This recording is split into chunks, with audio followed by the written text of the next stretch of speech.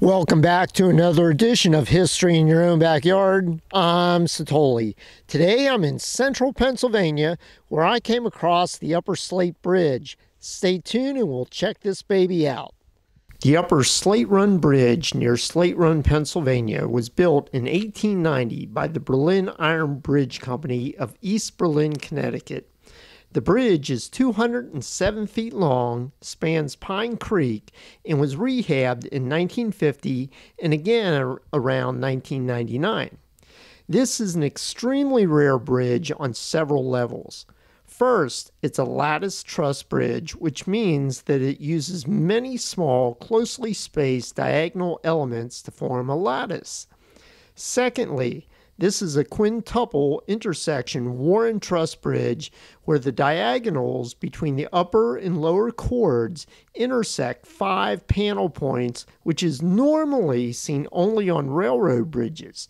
This is almost unheard of on a vehicular bridge. Third, this is among one of the oldest riveted highway truss bridges still standing in the state of Pennsylvania. The bridge is highly decorated, still retains the build plaque, and sits in a beautiful isolated valley. The bridge does not meet modern engineering standards such as bridge width and approach exit geometry. However, it is located in such a rural area and receives such little traffic, approximately 200 vehicles per day, that the Pennsylvania Department of Transportation has decided to leave the bridge and the alignments alone rather than try to update the roadway or even replace the bridge.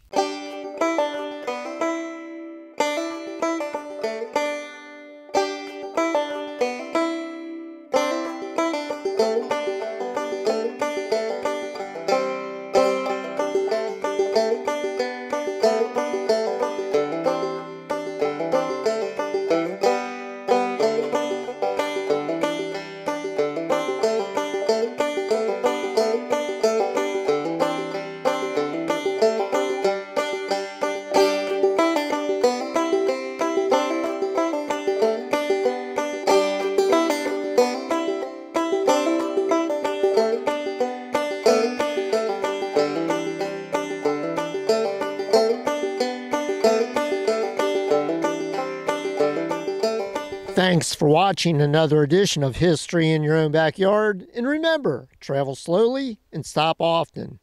I'll see you next time.